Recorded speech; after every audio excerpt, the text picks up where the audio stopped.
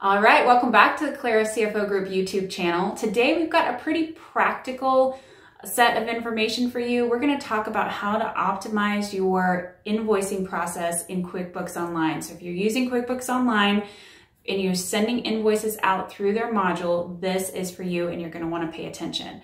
Really, we just wanna make sure that our invoicing and our AR processes are as smooth as possible because nobody wants to be trying to collect on invoices that are months overdue.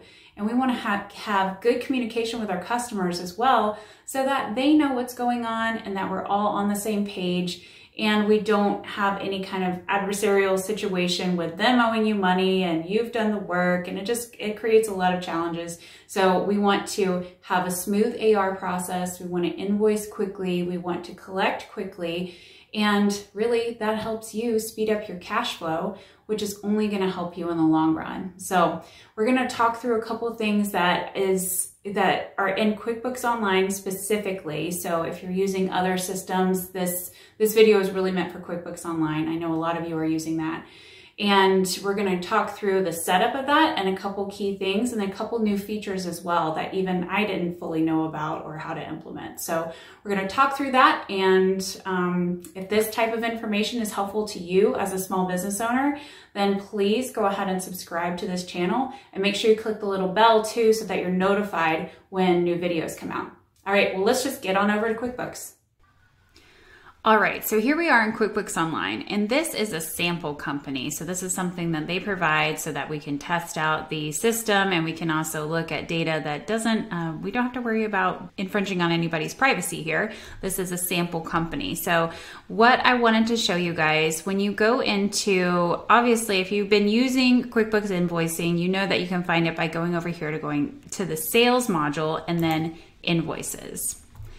And then specifically when you're in here, we'll be looking at we'll be looking at actual invoices. So if you click on one of the invoices, um, I wanted to point out some of the things that we can customize on this format. So here's an invoice that's already had a little bit of customization to it. So it does have this custom field here, and then it looks like uh, it has products and services that have been added, and they have a little discount percentage down here um, and you know a message on the invoice that they'd like to put so it looks like they've done a little bit of customizing of this and then their terms are set at net 30 but i want to show you how you can change some of this and also a couple things that you can do to help your accounts receivable process run a little bit smoother and hopefully speed up cash flow because that's really what we want to do. We want to send out invoices and we want to get paid as quickly as possible.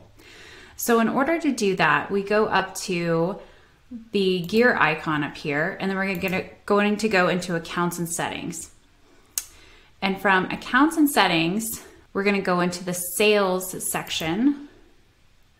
And it's giving me a little bit of an error right here. I think it's because this is a test, a test product and not actually the full live QuickBooks. So it's, it's noticing a little bit of an error, so just disregard that.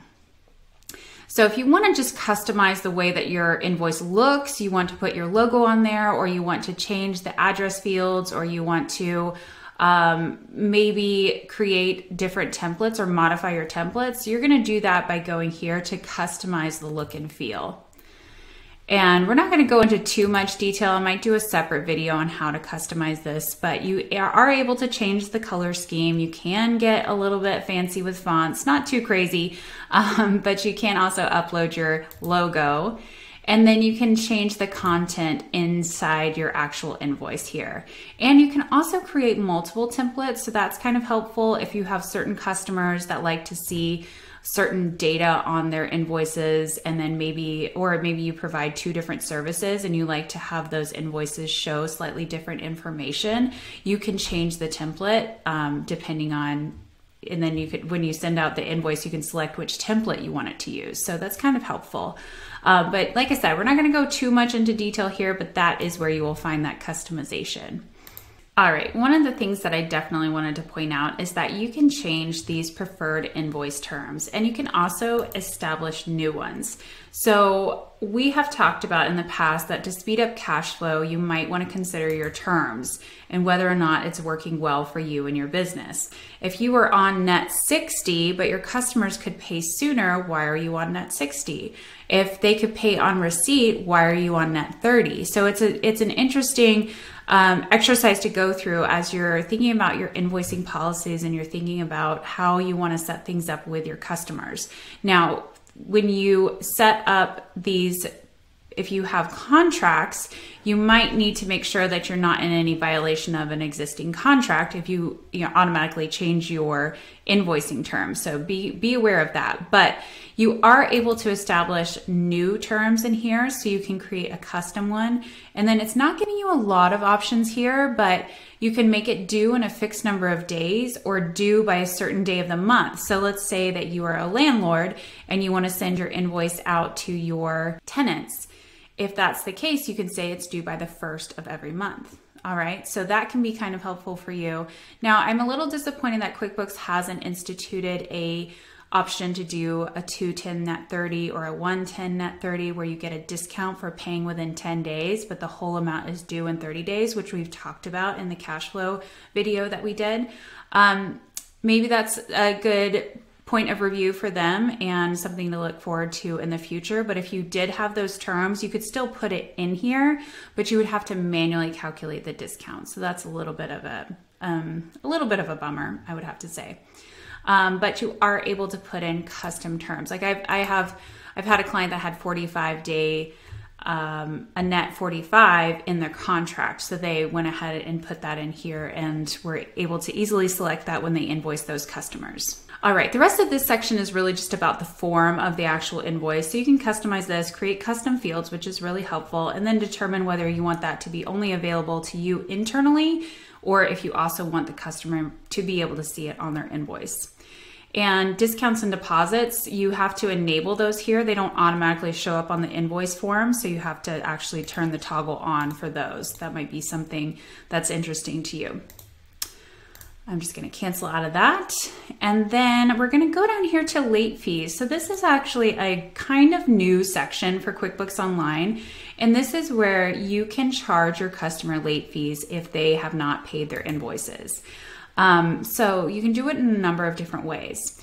We can set it up so that it has a flat fee for charge per invoice per month or per day, or you can do a percentage of the remaining balance. So let's say, I mean, it usually wouldn't be 50%. It might be 1% or half a percent or something like that. You could do once per invoice per month or per day. Okay, so this is an option to you and it can automatically charge it. And then it also has a grace period. So maybe you have a net 30 and you have it in your contract that there's a $50 late fee if they don't pay within 30 days. Um, but if you wanted to give a couple day grace period, there is the option for that, okay? Or even a 30 day grace period if you really wanted to. Um, that is helpful. And then this, this tells you where those items would be classified. Now, I would have to say, I think that this is a really fantastic feature. I would try to make sure that this is in all your contracts if you want to start using it, at least on a go forward basis. And you are able to customize it by customer once you turn this on. So you can go into the individual customer record and further customize this. Um, but what you don't want to do is turn on late fees and not tell the customers because that will only create contention and it's good if you do decide to use this feature, you you need to have some form of communication with your customers. And that's just really best practice. I mean, there's no rule around that, but you just don't want a little late fee and you making a little bit of money potentially make you lose a customer because somebody's really upset. So just be be sensitive about implementing something like this and also make sure to keep up communication with your customers and clients. All right. But I do think it's something that could definitely be leveraged. And if it's in your contract saying that it's an automatic late fee, I think it kind of takes away that personal um, you are assessing it to them and it's in the contract, it's there, they sign the contract. It just makes it a lot easier to go ahead and enforce a policy like that if it is set up properly from the beginning and agreed upon from the beginning. Okay. Um, so that is late fees, which could be helpful. Um, progress invoicing is interesting. This I don't think necessarily speeds up cash flow in any ways, but if you create an estimate and then you start billing against that estimate, you will be able to track the progress. So if you are in a situation where you have a really hard time keeping track of where you are in a longer term contract and what you've actually billed and what's been paid, it might be good to keep to use this progress invoicing feature because you might be able to track it more closely and make sure that there's no leaks, like you didn't miss an invoice or you didn't uh, fully bill out on a contract or overbill on a contract, which can can put you in a sticky point too. So that's something to consider.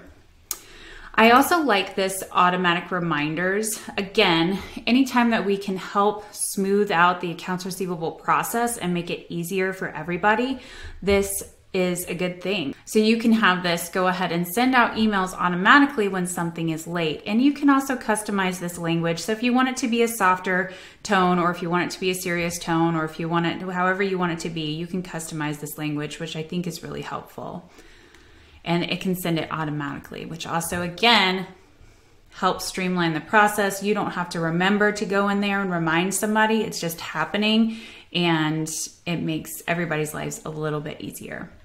And remember that you can also see in QuickBooks Online, if you're emailing this out to a customer, you can see if they have viewed an invoice. It actually shows up in the detail and when it does that, that gives you an indication of, okay, they've seen it and they're just not paying it. Or if they've never seen it, they've never opened the email, that might be a time for a phone call to follow up and say, hey, you might not have seen our QuickBooks invoice that came through. It comes from this email address, and you can follow up and have that conversation because sometimes emails will things will go to junk mail or whatnot and people just won't see an invoice. So it's good to kind of have that indication too of whether or not they actually looked at the invoice.